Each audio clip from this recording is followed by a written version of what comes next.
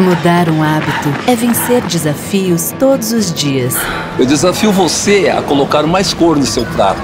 A fazer amigos no modo offline.